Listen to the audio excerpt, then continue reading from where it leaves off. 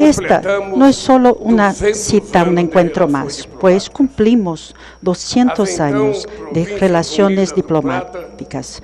Las entonces Provincias Unidas del Río de la Plata fueron, en la práctica, el primer Estado en reconocer la independencia de Brasil.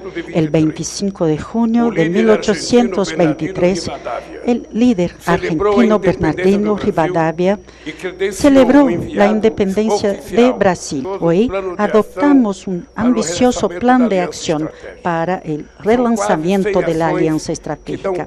Son casi 100 acciones que dan concreción a nuestro proyecto de desarrollo conjunto.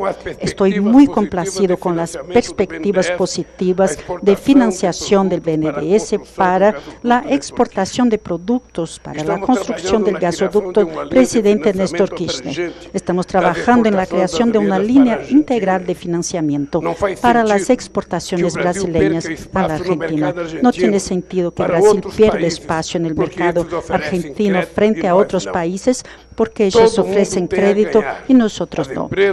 Brasil y Argentina nacieron para estar indisolublemente unidas. No hay ninguna posibilidad de que otra cosa ocurra. Lula querido, gracias por esta condecoración que siempre voy a guardar, porque me la diste vos.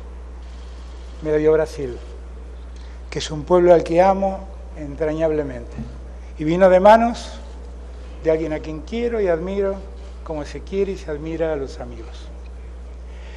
Gracias Brasil, queda mucho por trabajar, estamos trabajando mucho, estamos concretando muchas de las cosas que nos pusimos como propósitos. Nada es fácil, porque tienen un amigo en problemas, pero cuando un amigo está en problemas, ¿qué hace el que está en problemas? Pide ayuda a los amigos. Y los amigos siempre están.